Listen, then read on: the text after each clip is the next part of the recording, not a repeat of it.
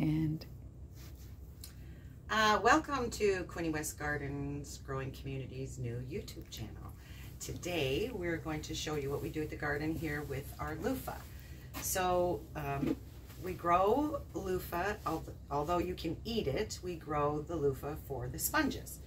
So this is a loofah that is um, hopefully ready and I'm going to show you how we peel it.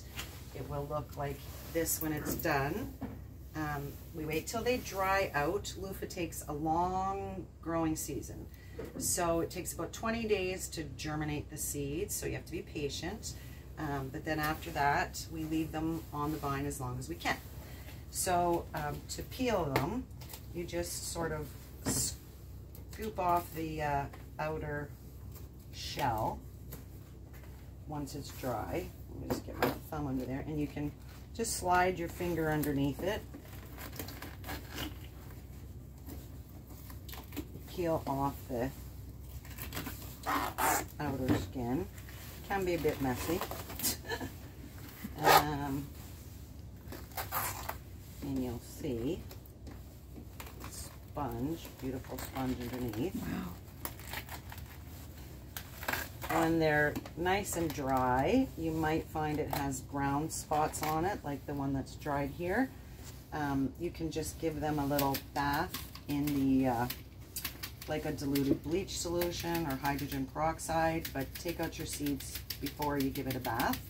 And the seeds, they just look like little watermelon seeds, so we save those for next year. Um, these have to be completely dry before you use them. So you can just leave them in a dish rack or something to dry out once you've kind of given it a wash. We're almost done with this one here. So one of the things I like to do with the sponges, I mean, you can cut them to the size you want or the size you'd like. Um, but one of the things I like to do is to make a soap. And I'll just show you that in a second. I'm almost done here.